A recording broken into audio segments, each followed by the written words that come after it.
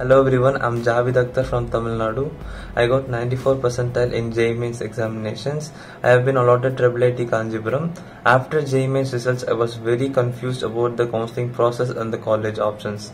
I got to know about Career Kick services through YouTube and I contacted Nikhil Sachan sir. He suggested me the best college options for my CRL and I bought paid counseling services from them. Nikhil sir did the entire counseling process and choice filling personally and I'm very glad that I have secured a seat in IIIT Kancheepuram by doing counseling through Kick services. Thank you so much Nikhil sir. He was very supportive throughout the counseling process and thank you to the entire Kick services team and congratulations for the 10k subscribers and I would strongly recommend my junior friends to do their counseling process through Kick services. Thank you.